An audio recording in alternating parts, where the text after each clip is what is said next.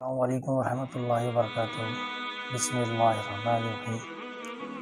हदीस मुबारक का मफहम बयान कर रहा हूँ नबी पाक सल्लल्लाहु अलैहि वसल्लम का मुबारक मेरे आका व मौला नबी करीम सल्लल्लाहु अलैहि वसल्लम फरमाते हैं जिस शख्स ने इल्म की तलाश की तो ये तलाश उसके सबका गुनाहों का कुफारा बन जाती है।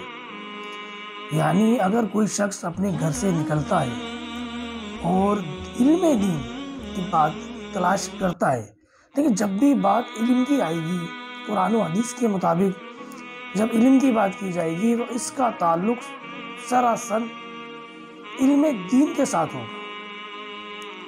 जब कोई शख्स अपने घर से निकले इल्म दीन की तलाश में, यानी अल्लाह और उसके रसूल के दीन की तलाश में जब कोई शख्स अपने घर से निकलता है, जैसे आप पहले के दौर में जैसे इमाम बुखारी रहमत आपने किसी से हदीस मुबारक सुनी कि जी फ़लाँ हदीस फ़लाँ साहब के पास है ये वो वो साहब ये हदीस मुबारक रिवायत करते हैं तो आप कोसों दूर चल के जाया करते थे और उस शख्स से हदीस भी सुना करते थे, उसकी रिवायत लिया करते थे और उस रिवायत लेने से पहले उसको देखा करते थे कि आया कि ये हदीस बयान करने के काबिल है या नहीं है। आप एक जगह गए, आपने देखा किसी शख्स को कि वो किबले की रुख पे पेशाब कर रहा है। आपने उससे हदीस सुनी नहीं वापिस आ गई आपने कहा, जो शख्स किबले की रुख की तरफ़ मुँह करके पेशाब करे, वो क्या हदीस सही बयान करेगा? तो ये तलाश इल्म, इसको कहते हैं कि घर से निकल के अल्लाह उसके रसूल के दीन के इल्म की तलाश कर रहा तो मेरे प्यारे आका व मौला कहते हैं, फरमाते हैं कि जो शख्स अपने घर से निकला और उसने इल्म की तलाश की तो ये गोया उसकी ये तलाश करना उसके सांप का, गुनाहों का कुफारा बन जाती है। यानी कोई शख्स अगर अल्लाह और उसके रसूल के ज़िक्र की महफिल में जाके बैठता है और वहाँ वो इल्म की बात सुनता है, इल्म की बात को समझता है, नमाज़ पढ़ने का तरीका जानता है, कुरान पाक पढ़ने का तरीका समझता है, कुरान पाक को पढ़ना जानता है वो, जानने की कोशिश करता है तो ये उस कोशिश करना उसके सांप का, गुनाहों का कुफारा बन जाता है। अक्सर और बेशतर लोगों से मैं पूछता हूँ कि आपने कुरान पाक पढ़ा है? तो वो कहते हैं कि जी, हमने कुरान पाक पढ़ा हुआ है। कभी किसी से कहोगे भाई, आप कुरान पाक पढ़ लो, हम आपको पढ़ा देते हैं। हम आपको फ़ीस अबरीला कुरान पाक पढ़ाएँगे। आपको वक्त भी देंगे, आपको टाइम भी देंगे और आपसे कुछ लेंगे नहीं। आगे से वो जवाब देते हैं कि, जी, हमने तो कुरान पाक पढ़ा हुआ है। अच्छा जब उनसे पूछा जाता है कुरान पाक के हवाले से तो भाई, ठीक है, आपने पढ़ा हुआ है, हमने मान लिया। हरूफ मद्दा कितने हैं? तो वो साफ़ जवाब देते हैं, यार, मुझे तो नहीं पता हरूफ मद्दा कितने हैं। तो वो साफ़ जवाब देते हैं। यार, मुझे तो नहीं पता उर्फ़ मद्दा क्या होते हैं। अच्छा भाई उर्फ़ लेन कितने हैं? यार, ये क्या होते हैं? अच्छा भाई उर्फ़ कलकला कितने हैं? यार, ये कलकला क्या होता है? अच्छा भाई उर्फ़ मुस्तालिया कितने हैं?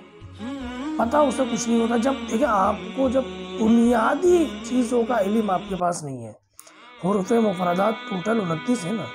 जब आपको उनका पता ही नहीं है कि कौन से हरूफ को किस तरीके से पढ़ना है तो इसका मतलब ये कि आप उसके तलफ़ को अदा नहीं कर रहे। जब आप तलफ़ अदा नहीं कर रहे तो आपका वो पढ़ना बेकार हो जाता है आप सवाब की बजाय उल्टा गुलामी चले जाते हैं कुरान पढ़ने के लिए।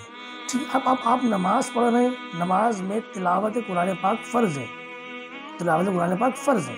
जब आपने नमाज़ में तिलावत करी और तिलावत आपने सही नहीं करी आपने कुरान पाक को सही तलफ़ से अदा नहीं किया तो गोया आपका वो फ़र्ज़ अदा ही नहीं हुआ।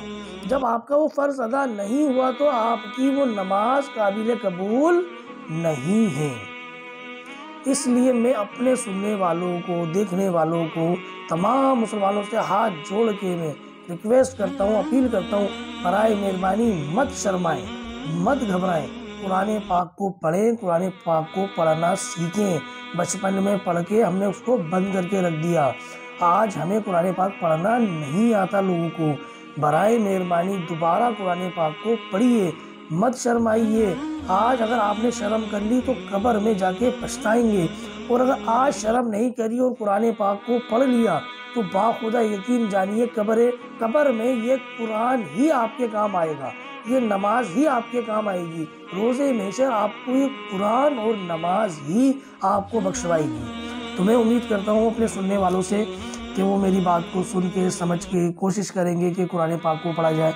और जैसे हमने वादा किया था कि हम बहुत जल्द कुरान पाक आपको पढ़ाना शुरू करेंगे।